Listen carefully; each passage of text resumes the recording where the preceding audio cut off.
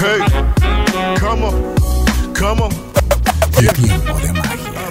Bueno muchachos, bienvenidos a Tiempo de Magia, el podcast. Este es un espacio donde conversamos de ideas, eh, no solamente de magia, de percepción, de la mente, sino que también, no sé, hablamos de emprendimiento, hablamos con artistas, hablamos con diferentes personajes.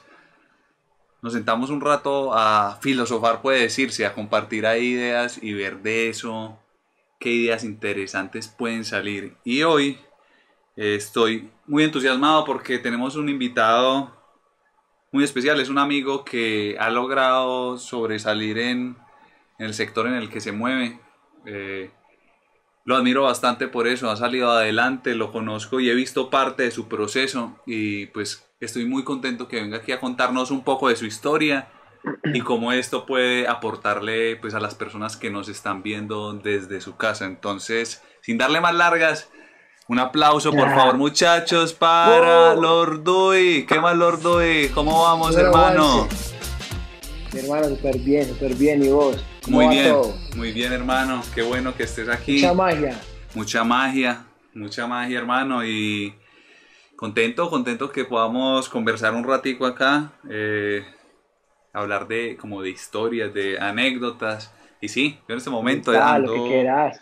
ando sí compartiendo con la gente eh, como esas historias de magia, compartiendo literalmente magia, y se ha, se ha trillado mucho el término, pero eh, en este momento reinventando la magia. Yo sé que está trilladísimo el término de reinventar, pero al menos yo he adaptado el formato que tengo de magia en mis shows y estoy llevando todo esto de una Claro. manera virtual. No, pero, o sea, esa palabra es increíble. ¿Cómo así? Sí, Si La sí, gente le gusta la magia es por algo. yo sé que sí, hermano. Cual- sí. Cualquier persona no tiene esa magia. Y pues eso está en todos lados, la magia está en todas partes. Y pues nada, retomando ahí como que le dijiste, yo empecé hace mucho tiempo, empecé en el 2009. Y, y la verdad lo veía como algo que simplemente quería hacer, me gustaba, amaba, siempre me ha gustado la música. Y un día, pues mi papá, yo estaba, yo estaba muy pequeño y mi papá me dijo como que, "Ey, ¿quién te enseñó a cantar? Un día me escuchó y me dijo como que, ¿quién te enseñó a cantar? ¿De dónde? O sea, estaba muy pequeño, yo no, nadie. Yo solo jugaba fútbol. entonces, entonces nada, pues la verdad la música la cogí como algo con la que yo decía, no, o sea, me siento bien, me gusta hacer música, me encanta, vamos a ver qué sucede.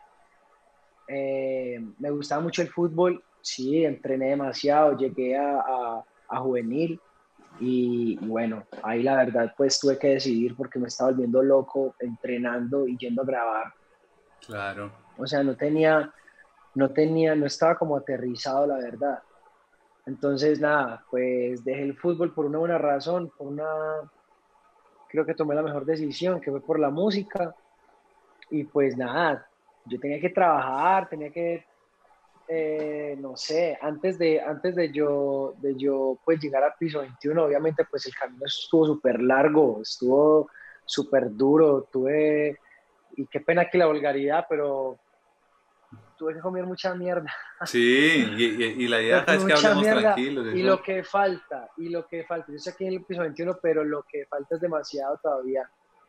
Entonces, eh, nada, yo por ejemplo, ¿sabes qué? En ese tiempo las grabaciones pues no eran tan costosas como lo es ahora. Porque ahorita pues una grabación o una producción pues te va a salir muy costosa, depende de donde lo vayas a trabajar. Ajá. Entonces, eh, a mí la verdad, pues yo, yo trabajaba con un tío, trabajé en una empresa de publicidad, trabajé también en una, mm, como en una vuelta así como de celulares, o sea, celulares, case para celulares, eh, ¿me entiendes? Tecnología. Y, Entonces Lordo, y ya- te pregunto una cosa, cuando vos estabas, te lo, te lo pregunto es porque yo lo sentía, no sé si a vos te pasaba, pero cuando Sí. vos estabas trabajando en estas cosas, vos sentías como la necesidad, o, o había como algo que vos te decías, "Jue pucha, yo, yo quisiera estar es en otra vaina, o Ah, claro, Obvio. Como por dentro, Obvio, como claro, una, una voz que uno dice, "Jue pucha, Yo pero es que yo me imaginaba yo otra cosa.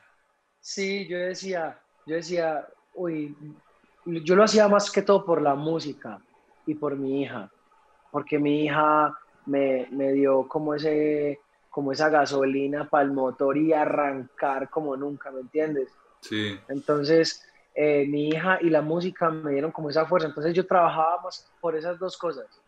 Entonces, mi hija y pues, bueno, mi hija vino mucho después de que yo empezara pues en la música, pero, pero también yo así pues joven, eh, pues te digo de, de 15, 16 años, donde me cobraban las producciones, yo me iba a trabajar, me iba a camellar y pues para tener plata y pues poder grabar.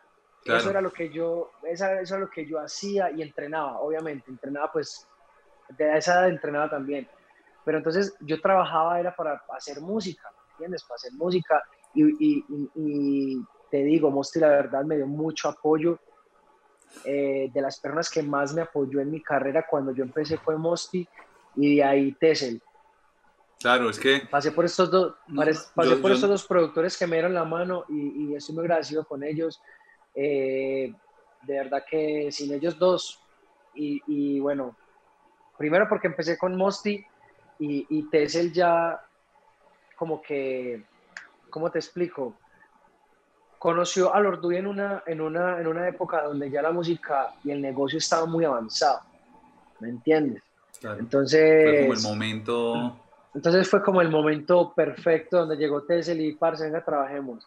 Entonces, bueno, ya pasó el tiempo y pues, parce, hasta el día de hoy ya llevo, este va a ser el, ahorita en agosto cumplo 11 años Uf, como general, pues como en la música, Lorduy como tal, y llevo, ya hoy, este año estoy, sí, llevo un año pasado con Piso 21, claro, me pero en general, en música en general, música en general, en general, llevo 11 años y de verdad que he reimado demasiado.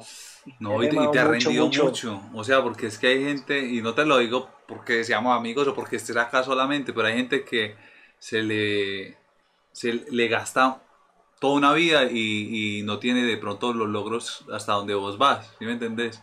Tiene Totalmente. que juntarse la determinación, un montón de cosas para Totalmente, muchas, muchas, muchas carreras son muy distintas, o sea, hay muchas carreras que de pronto se disparan en muy poco tiempo. Te estoy hablando de, de, no sé, un negocio a corto plazo y les funcionó y ¡pum! Como hay otros como J Balvin que se demoraron casi sus 13 años claro, sus, ¿me entiendes? Piso 21, Piso 21 lleva 12 Uf, años, 13 sí. años y no estoy mal en la música también. Obviamente, pues antes de que yo entrara tenían un recorrido increíble, tenían un trabajo muy duro y pues bueno, yo llegué a, a- a sumar, a sumar. Yo creo que yo le puse a Piso 21 lo que quizás no tenía Piso 21. De pronto a mí me gustaba mucho bailar. En los shows, parce, yo me tiro un solo bailando durísimo. Eh, cada uno como que tiene su solo. sí, Y sí, Piso 21 tiene, y Piso 21, lo, lo, lo chimba de Piso 21 es que son cuatro artistas formando un solo colectivo, ya. Dim tiene su flow, Dim tiene su estilo, y cuando entra en una canción sabe que es Dim, Pablo igual, el, el profe con las guitarras, yo con mis, con mis versos o con mi coro, no sé. Entonces, no sé, hay un complemento muy bonito, muy bacano, y, y siempre está la conexión. Entonces, nada, de verdad que llegar a piso 21 fue una bendición muy grande. Eh, estoy eh, viviendo, viviendo sueños, literal. Los estoy viviendo, los estoy viviendo. eh, y, y falta mucho, falta No, demasiado. claro, falta que. Cada imagínate todo lo que que nos has yo- contado y, y, es- y esto ha sido un año en piso 21 y pues una década más trabajando, pero pues hay muchísimo todavía. que- cada día que pasa, cada día que pasa yo digo, esto nada más es un 1% de lo que yo quiero, literal. Cada vez tengo más hambre, cada vez te- tengo más ganas de trabajar, cada vez tengo más ganas como de seguir adelante, ¿me entiendes?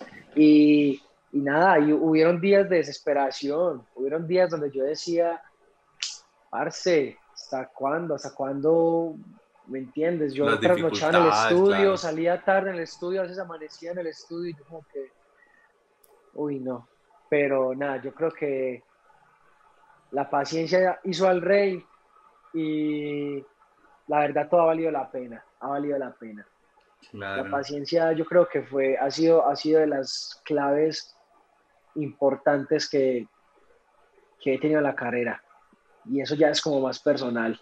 Sí, no, pero te entiendo completamente eh, el tema. Y en varios momentos de la, de la historia que nos has contado también me siento identificado porque eh, yo me he dado cuenta que a medida que uno avanza, yo lo digo, digamos, como mago, como artista, cuando yo me veía pequeño y yo decía, quiero ser mago, yo tenía una visión de eso, digamos que de alguna manera yo al- he he hecho parte de esa visión, pero a medida que la avanzo me doy cuenta como, ah, no, es que se puede hacer mucho más, quiero más, quiero que sea mejor.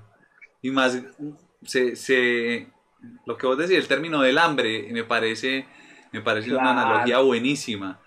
Yo, Claro. yo en, en otras transmisiones de- del podcast me parece muy curioso porque eh, a mí a veces me, pre- me han preguntado amigos que están empezando en su carrera artística o cosas así y me dicen como, ah, pues que yo no sé qué hacer, es que yo tengo este trabajo que me va bien, pero me gustaría dedicarme a esto. Yo le digo, bueno, usted nada más tiene dos opciones y es así de fácil. Usted por dentro tiene esa hambre, tiene una voz que le dice lo que usted tiene que hacer.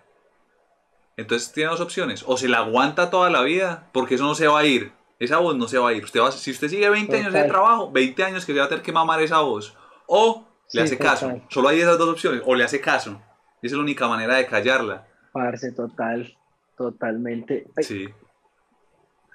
Sí, Total. así es, así es, hermano. Entonces, el término de hambre me gusta mucho como para parce, eso. eso es, eso es lo, lo que hay que tener. Yo creo que las personas que están empezando en cualquier cosa que le guste, cualquier negocio, cualquier proyecto, cualquier artista, cualquier ingeniero, parce, si no tienes hambre todos los días, créame que el proceso se le va, yo creo que no importa si se le demora incluso, no importa si se le demora, pero si usted tiene el hambre, crea que en cualquier momento le va a llegar, Pasa. le va a llegar, ¿me entiende? Y, y hay una cosa muy importante, parce, y es que si usted hace las cosas con amor y hace las cosas bien, eh, eso es otro, otro factor muy positivo que, que, que te pueda cumplir ese sueño.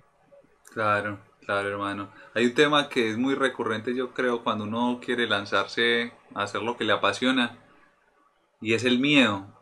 Quería hablarte de Uh. eso, porque, porque no, no es algo que se hable muy común. La gente es como, no, mándese y no sé qué, pero, pero yo siento que todos sentimos miedo y uno puede tener inseguridades a la hora de hacer lo que quiere hacer. O sea, uno puede tener una visión muy concreta. Total, total, pero- y por muchos factores, por Sí. muchos factores, por el que le va, por, por el que dirán, solamente por el que dirán y por los comentarios te puede dar miedo no lanzarte a ser un artista.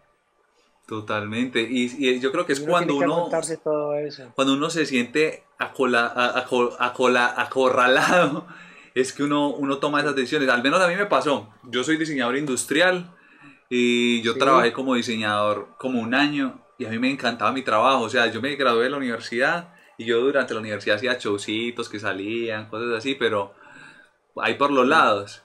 Y, y cuando me gradué, conseguí, o sea, yo me gradué como a las semana dos semanas eh, uno que fue profesor en la universidad me recomendó una empresa, empecé a trabajar de uno, o sea, no tuve como eh, tiempo. Y en el trabajo me gustaba mucho porque había una máquina láser, una ruteadora y me dejaban hacer de todo, diseñaba, era como el trabajo ideal. Y como a los Sí, seis, exacto. ocho meses me empecé a acostumbrar al trabajo. Pero todo el tiempo era eso, eso en la cabeza así taladrándome. Y era como esa visión de la vida que yo podía haber tenido. Así se me yo me la veía como una película, como, como si se me estuviera yendo esa, como que es- si sigo acá, no voy a vivir eso que... Y cuando ya me sentí tanta, ni siquiera eran, eran buenos jefes, era un buen lugar, todo era bien. El problema, el problema era que yo quería otra cosa en la vida. Cuando Claro. llegó un punto en que no pude más, yo tengo que hacerlo, me va a enloquecer si no. Total, Parece, uno tiene que hacerlo, uno tiene que hacer lo que uno le guste, lo que uno le guste, con tal de que no le haga daño a nadie, con tal de hacer las cosas bien. Yo creo que, parce, todo va a fluir como, como se quiere. Entonces, parce, nada, yo creo que mucha gente ha pasado por eso, mucha gente ha pasado por eso, por, por quizá ese miedo de, de, de no tener el éxito posible, ¿me entiendes? Entonces, eh, parce, nada, yo creo que hay que tener, como te digo, mucha paciencia y, y tener en cuenta que tener en cuenta que si están hablando bien o mal es porque estás haciendo las cosas bien. ¿Me entiendes? ¿Me entiendes? Y mucha gente, si estás en boca de todo el mundo y estás haciendo lo que te gusta, es porque estás haciendo las cosas bien. ¿Me entiendes? Los comentarios negativos siempre van a estar. Siempre van a estar. Yo creo que es ignorarlos, ignorarlos. y, claro. y ya, y con los positivos. Entonces, parce, nada. Yo creo que van cada uno en la actitud que uno le ponga a lo que uno quiere hacer. Claro, es verdad. Al menos si uno se arriesga, eh, hay, hay una analogía muy buena con eso. Si uno se arriesga, al menos uno está en la cancha. Los demás están desde la tribuna mirando. Y es más fácil estar desde la tribuna que allá abajo pateando el balón. Total, totalmente, totalmente. Brutal. Lorduy, muchas gracias hermano por compartir este espacio, Brutal. hombre. Aquí. Parce, chimba conversada. No, gracias a vos, hermano. Muy qué bueno. diferente. Sí, es, esa es la idea de esto, como extendernos un poquito en esos temas que no, no tanto se hablan en el mundo de, no sé, de los artistas o de, Sí, sabe. de, de, eh, esto en lo que uno se mueve. Y yo creo que puede, si le aporta a alguien que nos esté escuchando o viendo, se libró, Lo mejor. se libró el esfuerzo aquí. Entonces, gracias por Claro. compartir tu historia, hermano. Y bueno, las mejores Papá. energías para vos siempre. Muchas gracias. Juanse, la buena. Las mejores, hermano. pues. Y todos muchachos, sigan adelante con todo eso que sueñan. Es tiempo de magia.